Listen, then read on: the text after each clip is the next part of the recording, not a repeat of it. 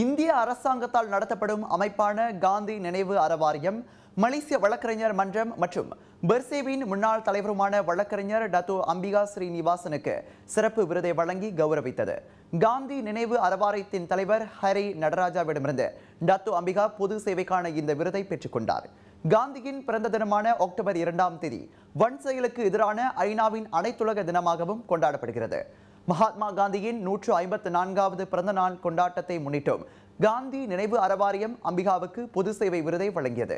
இதனிடையே உலகை மாற்றுவதற்கான எந்த ஒரு நடவடிக்கையும் குழந்தைகளிடமிருந்து தொடங்க வேண்டும் என்று இந்த நிகழ்ச்சியில் அம்பிகா தெரிவித்தார்.